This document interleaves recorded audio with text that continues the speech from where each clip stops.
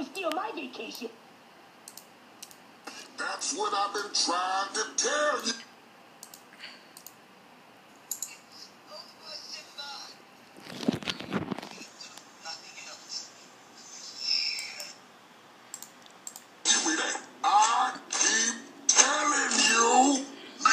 I not.